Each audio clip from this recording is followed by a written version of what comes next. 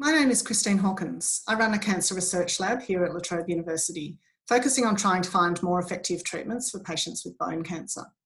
I also teach undergraduates about cancer and about molecular genetics, and I'm the course coordinator for biomedicine.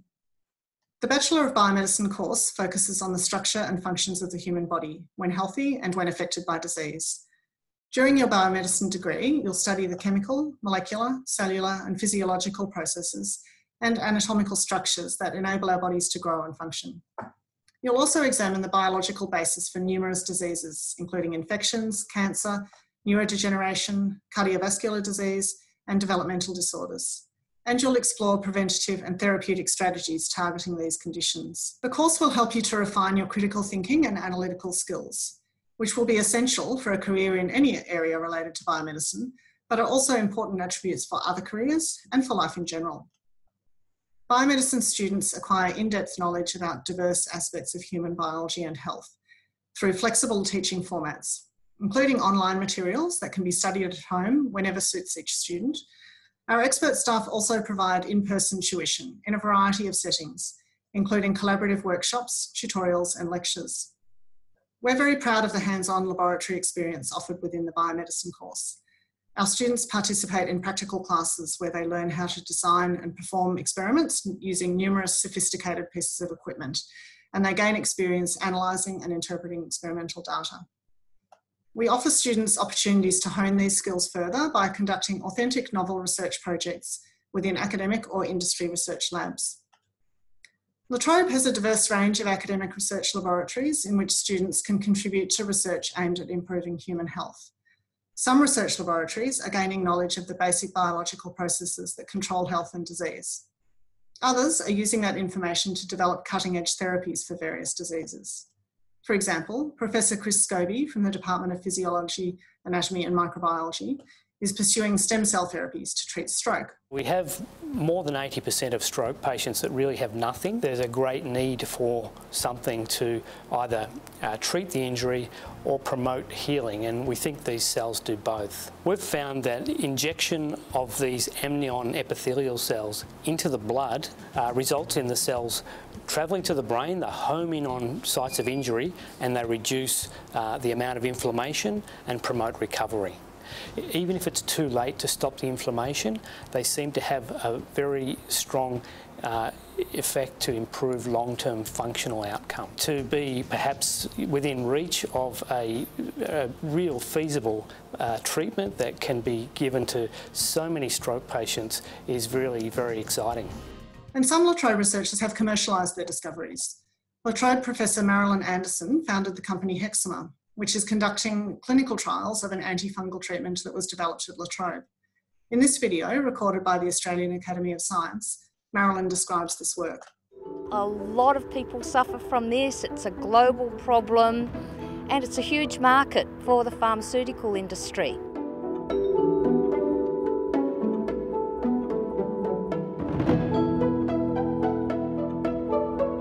During sexual reproduction in plants, they never get fungal infections or bacterial infections, so we knew that the floral orchids produce their own antibiotics to keep them safe during sex, if you like.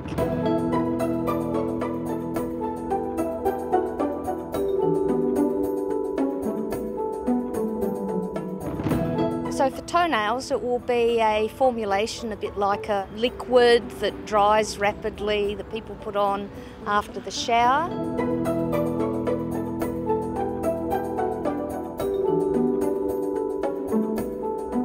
Professor Mick Foley is the Chief Scientific Officer of AdAlta. His research team at La Trobe have developed a novel class of molecular therapies, which they're currently using to target fibrosis-induced organ damage.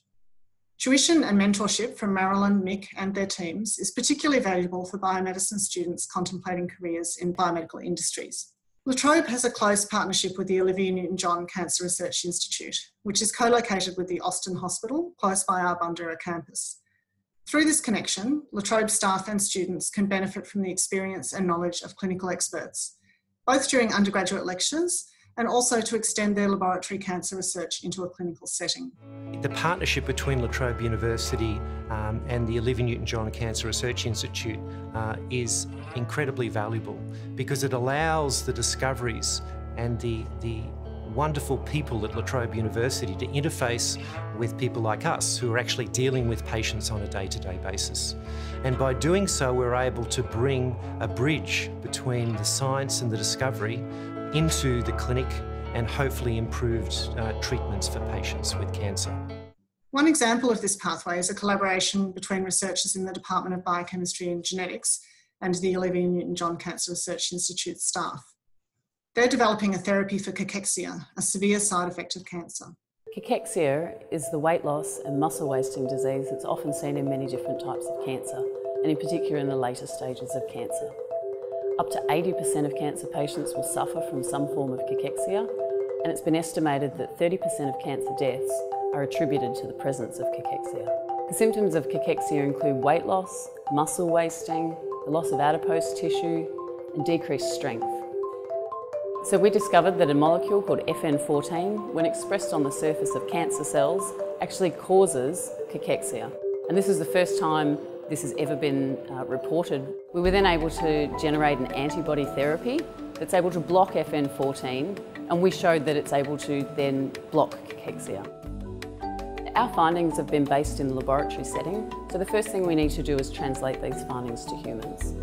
And we're currently doing this with our colleagues at the Olivia Newton-John Cancer Research Institute. And then the next step, once this is complete, would be to initiate clinical trials. If you've decided you'd like to study at biomedicine at La Trobe, you can either apply via VTAC if you're a Victorian Year 12 student, or the University's Admission Centre if you did Year 12 in New South Wales. If you finished Year 12 previously, didn't complete Year 12, or have done some tertiary study already, you can apply direct to La Trobe. We're currently reviewing the prerequisites for this degree for 2021 entry, and that information will be provided on this website this August. The skills and knowledge you'll develop throughout this course will equip you to undertake numerous diverse career options. Many of our graduates pursue clinical or allied health careers via postgraduate study in areas including medicine, physiotherapy, or dentistry. Others are passionate about furthering our understanding of biology and medicine and become biomedical researchers. Some students develop interest in health policy and take jobs in government departments or agencies. Some of our recent graduates are now designing and managing clinical trials for new therapies, working as technical or sales representatives for drug firms, or working in the biotech industry developing new drugs.